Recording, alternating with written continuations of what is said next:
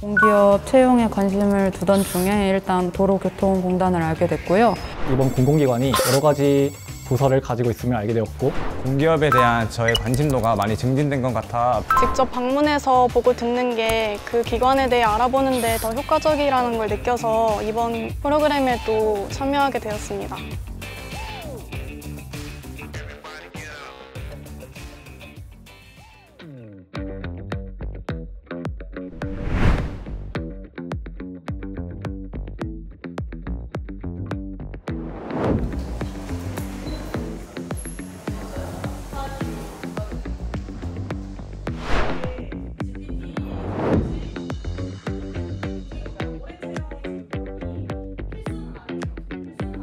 사실 제가 입사할 때를 생각을 해봐도 어, 이런 실제로 회사에서 어떤 일을 하고 있는지 뭐 이런 부분들을 직접적으로 접할 수 있는 경우들이 작다는 느낌이 많았는데 현직자분들도 직접 만나 뵈니까 채용이나 인사 관련된 부분도 자세하게 알려주시고 업무적인 부분들도 세세하게 알려주셔서 이렇게 체험으로 얻어가는 게 훨씬 큰 것 같습니다.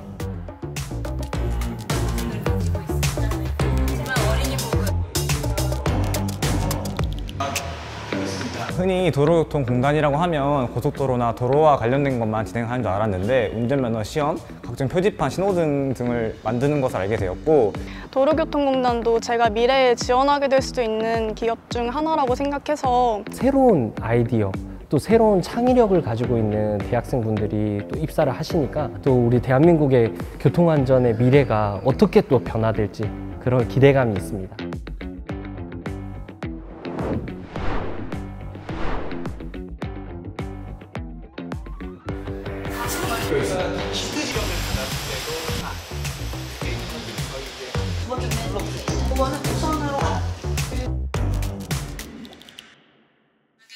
차로 맞고 중앙 분리대 작업하고 있고요. 도수색 격조사 시험을 방향, 원지 정리 교차로 분간 지정, 공사로 인해 2차로가 통제될 모습입니다.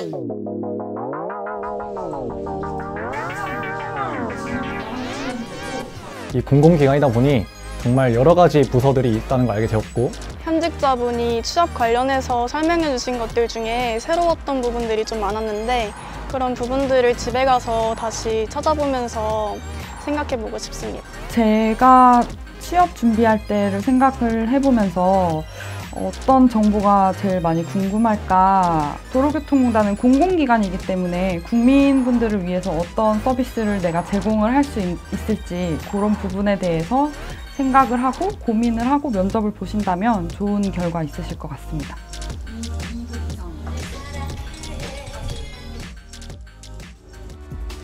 지역 대학생들이 저희 공단에 방문하셔서 이렇게 저희 공단이 어떤 일을 하고 있고 어떤 제도가 운영되고 있는지 많이 배워가시는 기회가 되었으면 좋겠고요. 저희 공단에 좀 훌륭한 인재가 많이 오시는 기회가 될 수 있으면 좋겠습니다.